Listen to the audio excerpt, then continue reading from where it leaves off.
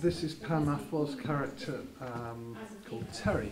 So this character Jane, Um, by Eric London. I thought it was written very precisely with an economic language, um, very, very specific, which was good. Um, found it easy to read and I had a clear idea of this character. Um,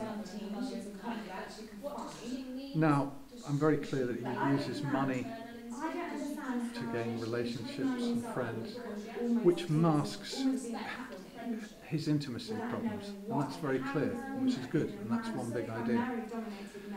Then there's a second big idea um, where he comes from an impoverished background and he rejects his parents, um, only willing to send them money and keep a relationship in that kind of way, regular direct debits or whatever. Um, which is also an interesting idea. And I don't think they're necessarily contradictory, but that's one possible danger that they're two very big ideas. It's making sure that they do work together because we have to get to the source of his intimacy problems. And do those come from his upbringing and his childhood?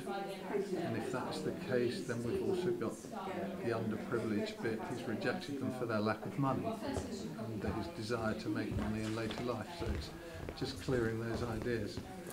Um,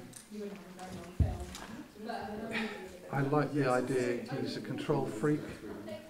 Um, he's short-tempered, violent, and that's clear to me that it comes from his frustrations, his lack of intimacy in his life.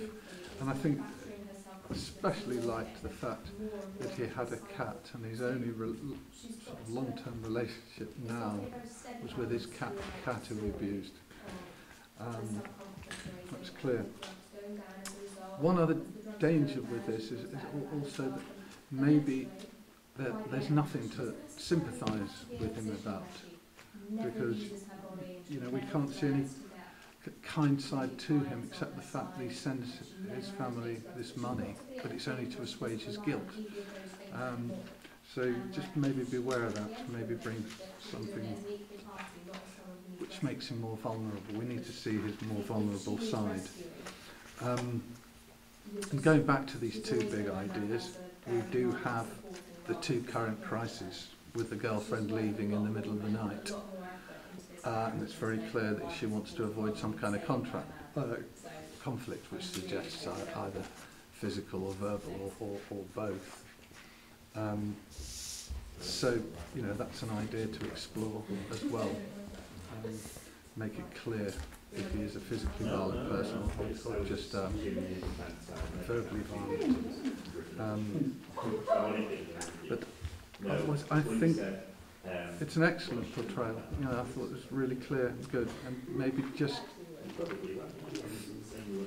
cl- clarify the two big ideas how, how they work together rather than opposing each other.